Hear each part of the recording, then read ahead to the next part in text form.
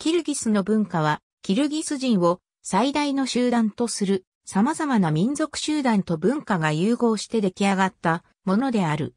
一般的には、キルギスには40の部族があると考えられており、国旗の中央にある40本の光状の入った黄色い太陽はこの40の部族を表している。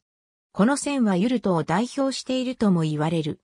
キルギスの主な宗教はイスラム教のスンナ派である。また、キルギスに暮らすロシア人の間では、ロシア正教会が一番信仰を集めている。キルギスはキルギスソビエト社会主義共和国を引き継いだ後、二つの公用語、ロシア語とキルギス語を制定した。ソビエト連邦崩壊後の1997年、政府の公式文書や商用利用において使用される公用語をキルギス語にする決定がなされた。ロシア語は未だに広く使用されており、キルギス人でない人々はそのほとんどがキルギス語話者ではないため、彼らはキルギス化を強制されることに反対している。キルギスは全国民に教育の機会を与える伝統から98.7%と高い識字率を誇る。しかし、ソビエト連邦の教育システムを再構築する意欲的な教育プログラムは教育予算不足や教師の不足により頓挫している。9歳以上の子供は修学が必須である。キルギス語は教育の場で使用される機会が増えている。ものの、ロシア語からキルギス語への移行は教科書の不足により頓挫している。現場ではロシア語を大二言語として使用し続ける例、リングはフランカとして英語を代わりに使用する例が見られる。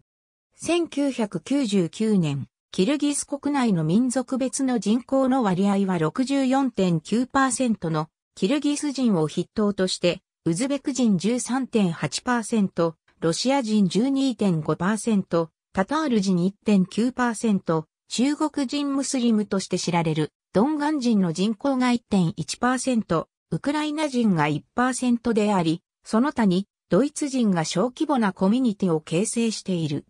他に政治的な面から人口の増加が予想される民族にウイグル人がある。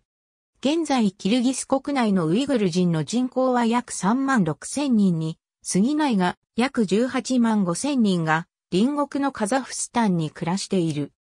ウイグル人はキルギスの北東部にあたる中国の新疆ウイグル自治区でも大多数を占めており、その人口はおよそ2400万人であった。マナスはキルギス人に伝わる伝統交渉文学であり、詩の中で先祖の英雄を読み上げる。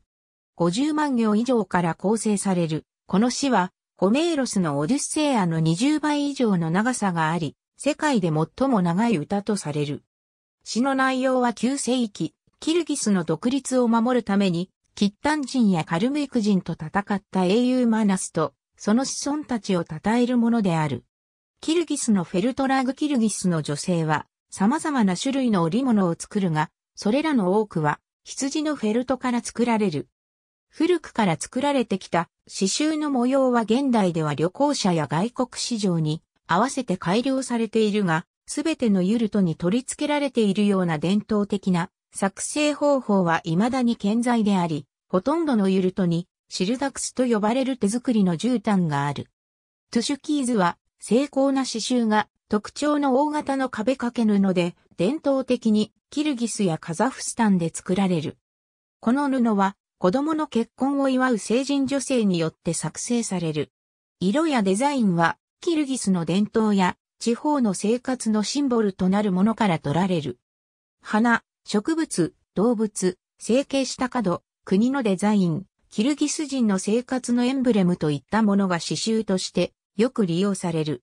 作成に年月を要した織物では、作品を完成させたものの使命や完成した日時、などが刺繍として縫い込まれることもある。